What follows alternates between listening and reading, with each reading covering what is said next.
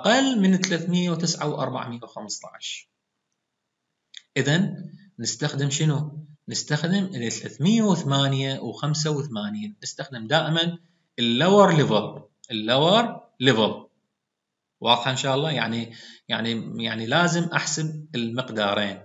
أحسب مرة من المعادلة وأحسب مرة منين؟ احسبه مرة من المعطيات الهيدروليكية اللي منطيني إياها بالسؤال فلذلك ال cistern length طبعا ال cistern يعني المقصود بهاي إذا تذكرون بال slide مال المحاضرة الفيديوية السابقة رسمت لكم وين يصير ال crest المنطقة اللي صايرة مثل العتبة يعني صايرة مثل النزلة بال downstream بال downstream هي هاي المنطقة اللي نسميها ال cistern فال cistern length L sub c يساوي لنا 5 في d2 minus d1 هسه برزت عندنا يعني متطلبات ورموز جديدة.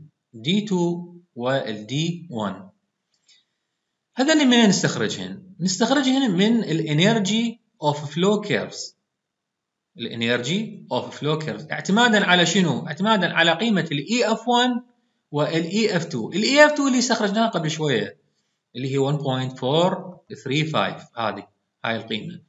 أما ال EF 1 شلون أحسبها؟ أحسبها من ال EF 2 زائدا ال head loss اثنيناتهم موجودات عندي. ال EF 2 1.435 زائدا ال head loss 0.15 يساوي لهم 0.585 from energy of flow curves هسه نروح على energy of flow curves. هذه هذه. طبعا هنا لو تلاحظون الخط هذا الخط هذا يمثل قيمة ال q small قيمة ال q small اللي حسبناها 2.5 متر مكعب per second لكل متر. واضحة إن شاء الله؟ okay.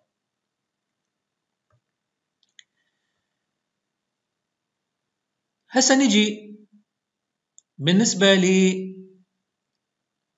ال EF1 وال EF2 ال EF ال EF1 دائما طبعا هذه الخطوط قلنا قلنا تمثل شنو؟ قلنا تمثل القيم التصاريف. أما هذا الخط المائل هذا ال locus of critical depth نعرف دائما حتى بال open channel hydraulics بالمادة الهيدروليك بصف ثالث. من كنا نحسب القفزة الهيدروليكيه وتبعات القفزة الهيدروليكيه والعوامل مالتها. كان عندنا شيء اسمه super critical flow وعندنا critical flow وعندنا sub critical flow هذا كأنه الخط المائل بزاوية معينة. هذا يمثل لي آه، منطقة ال critical flow منطقة ال critical flow دون هذا الخط للأسفل للأسفل. هذه المنطقة هي منطقة ال super critical flow ال super critical flow أما المنطقة التي تعلو هذا الخط المائل هذا هاي المنطقة اللي دا أشر عليها فهي المنطقة التي تعنى ب آه، تمثل ال regime of flow of sub critical يعني هنا عندي منطقه الجريان الهادئ sub critical المنطقة العالية المنطقة الواطئة تمثل لي منطقة ال super critical أما هذا الخط هو الخط الفاصل بين الاثنين وهي منطقة ال critical flow لذلك راح أجي هنا كل واحد حسب الرقم مالته. ال EF 1 أبحث عن الرقم مالته اسقطه على قيمة ال Q اللي تابعة له إيش قد كانت عندي ال Q مستخرجة. آني بالسؤال. مثلا 2.5 متر مكعب لكل second لكل متر أي رقم آخر. أيضا أسقط على المنحني على هذا المنحني اللي صاير بشكل بارابولا مفتوحة إلى زاوية معينة بزاوية معينة. أسقط على هذا طبعا Ef ال Ef 1 وال Ef 2 من هذا المحور الاكس اكسس اللي هي energy of flow سواء كانت Ef 1 أو Ef 2 لكن ال Ef 1 أسقط ضمن هاي المنطقة السفلى على نفس ال...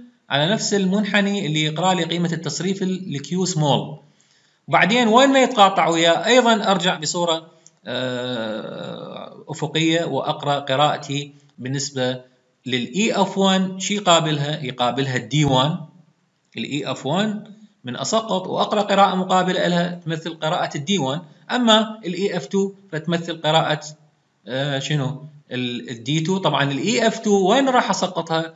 أنسى هذا الجزء تماما بعد بالنسبة لل Ef 2 أنسى هذا الجزء تماما وأتحول.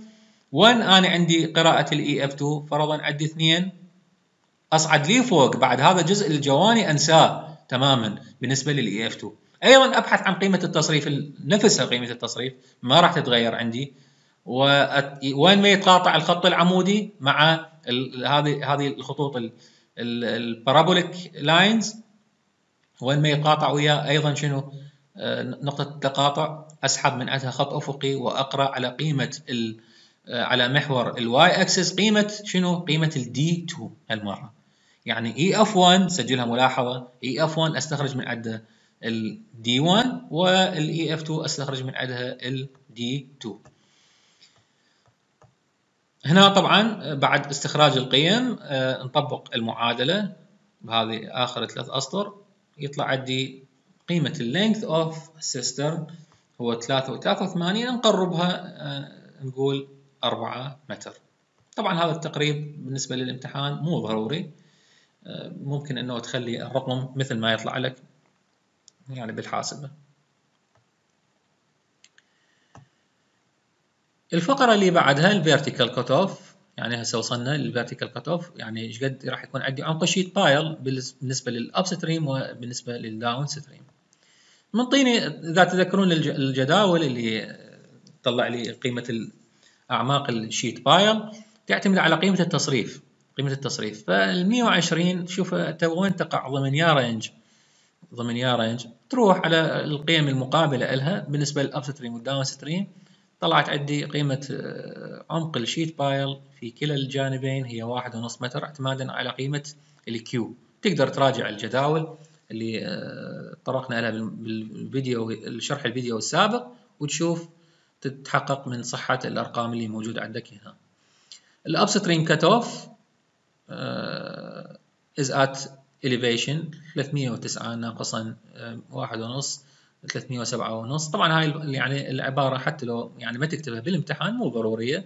جاي يبين لك إنه إيش قد منسوب ال sheet pile من الأسفل. يعني من الأسفل. طارح.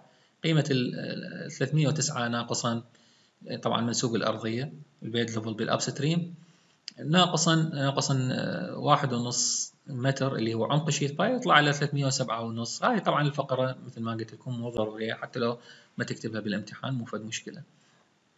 تحصيل حاصل. بالنسبة للفقرة الرابعة واللي هي من الفقرات المهمة لكن بها إعادة. إعادة لما أخذناه سابقا بال chapter الثاني. Total floor length and exit gradient. إيش قد يكون عندي؟ طول للأرضية الكلي. الكلي. يعني مو بس فقط ال downstream لا. هالمرة طول الأرضية الكلي. مضافا إليه يعني طول الأرضية بال upstream أيضا.